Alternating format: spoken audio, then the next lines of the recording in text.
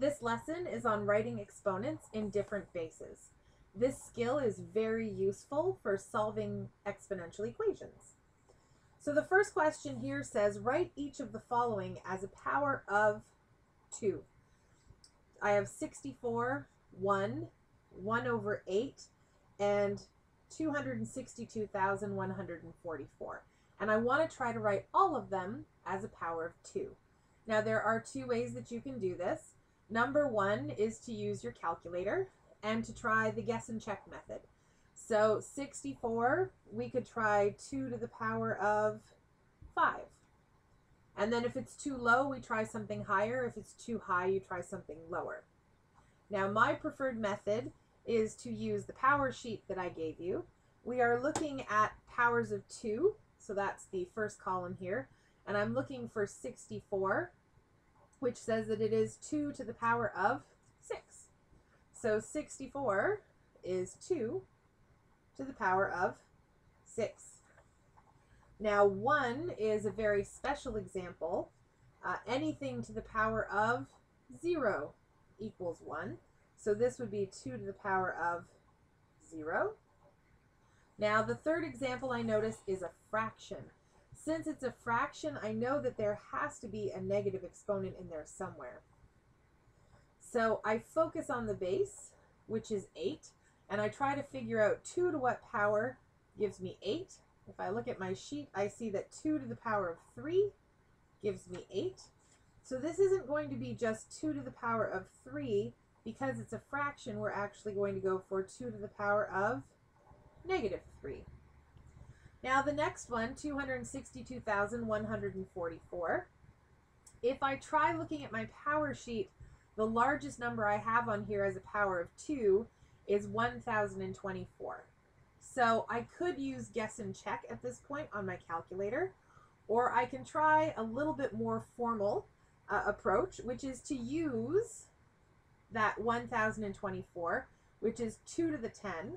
So I'm going to say it's 2 to the 10 times, and I'm going to take 262,144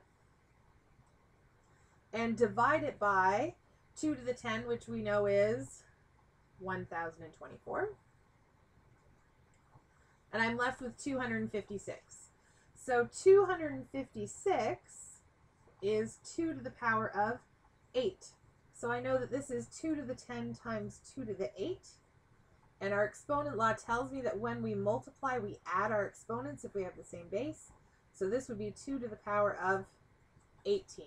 Now it's always good to just double check to make sure on my calculator that that's correct, which it is. What I'd like you to do is to take a minute, pause the video, and try the next three questions on your own. Hopefully you paused the video and tried the questions. 7,776 as a power of 6 is 6 to the power of 5. 1 over 36 is a fraction, so it should have a negative exponent. And it gives me 6 to the negative 2 because 6 squared is 36. So to get that fraction, it needs to be a negative 2. And then the last one, which is 36, nope, 362,797 and 56. I used my power sheet. The largest one on my sheet was 6 to the power of 10. So I divided that by 6 to the power of 10, and I noticed I had 6 left over, which was 6 to the 1, and when I add the two exponents together, I ended up with 6 to the power of 11. So one of the ways that we use this skill is in doing exponent law questions where the bases don't match. So the first question here says simplify each of the following using exponent laws. And I have 2 to the 9 times 32 to the power of 4. And I'm just going to zoom in a little bit to make that a little bit larger. So 2 to the power of 9 times 32 to the power of 4. Okay, to use our exponent laws, the rule is they have to have the same base. These clearly do not have the same base. So what I want to try to do is write them both as powers of either 2 or 32. And it's easier for us to write it as a power of 2. So what I'm going to do is leave the 2 to the 9. That dot just means multiplication. And I'm going to see if 32 is a power of 2. So I use my power sheet. I look at my powers of 2, and I see that 2 to the 5 equals 32. So I'm going to take out the 32 and put in 2 to the power of 5, and that's all to the power of 4. Now from here, all we do is use our exponent laws. This is multiplication. So when I multiply two things with the same base, we add the exponents. 9 plus 5 is 14. So I get 2 to the power of 14 to the power of 4. And then when we have brackets with an exponent on the outside, we multiply the exponents together. So I do 2 to the power of 14 times 4, which is 56. So my answer here is 2 to the power of 56. The next one, I have 625 to the power of 3 over 125 to the power of 2. Now, if I try 125, which is the lower of the two numbers, and I square it, I do not end up with 625. So 625 is not a nice power of 125. If I look at my power sheet, I do, however, notice that 625 and 125 are both powers of 5. 125 is 5 to the power of 3. 625 is 5 to the power of 4. So I'm going to take out the 625 and put in 5 to the power of 4. And that is still cubed. So this is just the 625, and it is cubed. So I put the cube there. 125 is 5 to the power of 3, and that number should be squared. So that's the 125 squared. Now all I need to do is use my exponent laws to simplify. Here we're going to multiply the exponents. So 5 to the 4 times 3 is 5 to the 12. And 5 to the 3 times 2 gives me 5 to the 6. And then our last step is to divide. 5 to the 12 divided by 5 to the 6, we subtract the exponents. 6 to, sorry, 12 take away 6 is 6. So I get an answer of 5 to the 6. All right, in part C, we have 49 to the power of 8, 2,401 to the power of 3, divided by 7 to the power of 5 to the negative 2.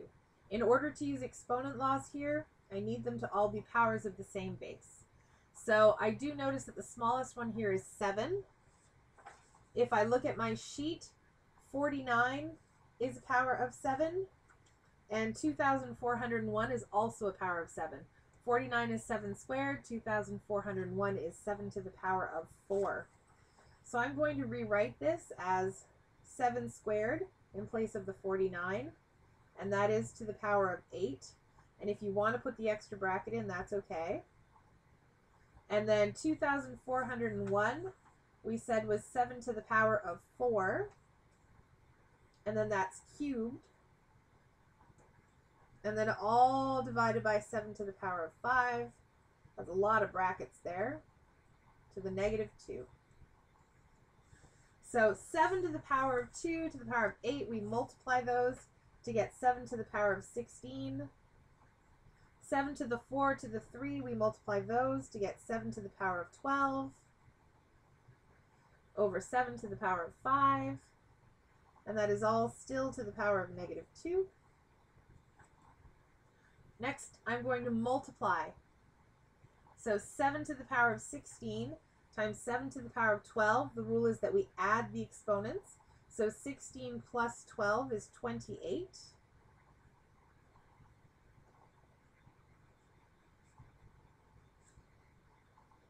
Seven to the twenty-eight divided by seven to the five. The rule here is that we divide. When we divide, we subtract. So twenty-eight take away five is twenty-three. So I get seven to the twenty-three to the negative two. Now I do see that I have a negative exponent, and I know a negative exponent makes a fraction, but before I do that, I'm going to multiply using my final exponent law here to get 7 to the power of 23 times 2, which is negative 46. Now that is simplified, but we don't like to leave it with a negative exponent. So a negative exponent makes a fraction. It has a flipping over action. So what it's going to do is flip the base of 7 to make 1 over 7 to the power of 46. Now, normally we would evaluate this, but 7 to the power of 46, if I try that on my calculator, okay, it gives me something in scientific notation, and I would much prefer to leave it like that.